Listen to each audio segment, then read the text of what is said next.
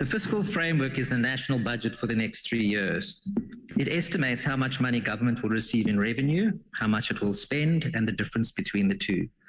Since 2008, government has spent more than it received, and the deficit has ballooned to 386 billion rand for next year. Interest repayments will be more than 1 trillion rand over the next three years.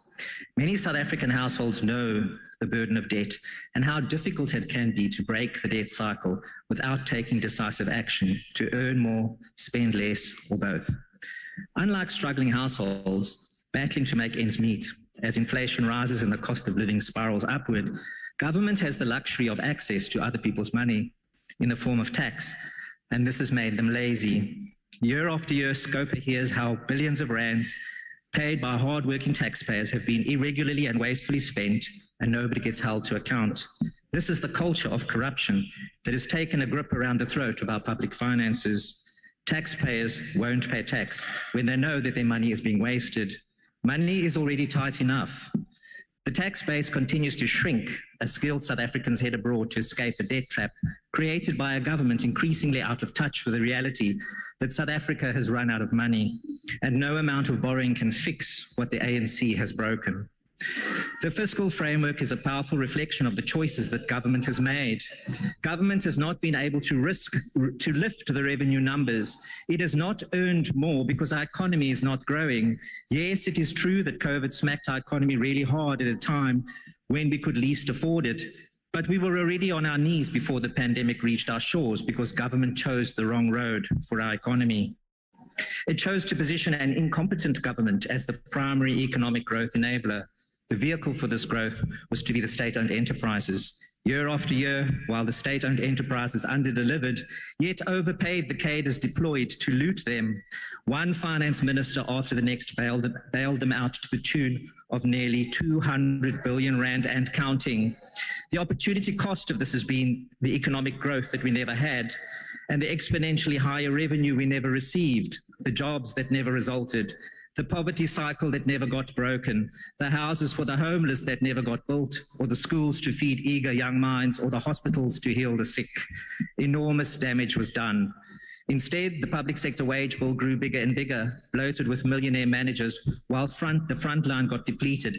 And the so-called broad-based black economic empowerment meant to redress past injustice just made a few people rich and left everyone else behind. It was refreshing to hear President Ramaphosa talk of the business sector generating the jobs that government knows it cannot deliver. And it was also refreshing to hear the new finance minister speak in the same direction.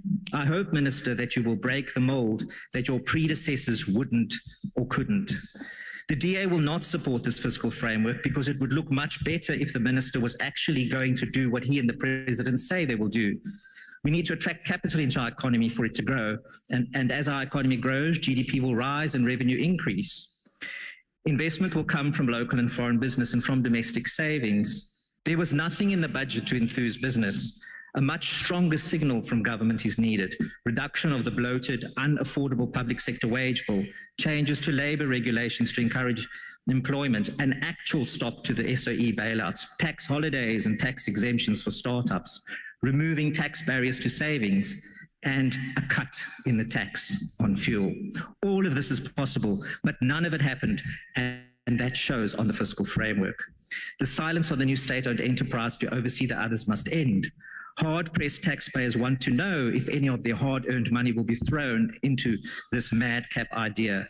They know a swimming pool when they see one, no matter how hard government argues that it's a fire pool. Our energy crisis with rolling blackouts again today and the looming water crisis will never be solved if there isn't any tangible action. The problem is credibility. The ANC government spoke for itself when it abstained as the United Nations voted against the Russian Federation's illegal invasion of the Ukraine. In the likely event that this war drags on, sanctions against Russia will impact on its allies as well. And the ANC has painted us firmly into that corner. As financial pressure piles up on Russia, its ANC friends who celebrated with cocktails while its tanks rolled across the Ukrainian border will put their own interests first and drive our economy further into the red. Our economy knows what pariah status can do, and we are already on the Financial Action Task Force watch list for not fighting money laundering and terrorist financing strongly enough. Punitive action aside, our economy will not grow if our major trading partners are at war. The minister is unable to commit to a basic income grant because he's not confident that he can fund it. If GDP rises and revenue with it, and the expenditure is better managed by making the hard choices, then it is possible, and support for vulnerable unemployed South Africans can increase as more jobs are generated on a rising growth rate. That is the path out of the current unemployment and poverty trap that the ANC has walked us into one misstep after the other. We now face the real prospect of stagflation, low growth and rising prices, and that is going to hurt every South African unless urgent action is taken to unlock the private sector and reduce the fuel price. Do what you say you will do, Minister, and in October, the picture can look a lot better. Thank you, Chairperson. Thank you.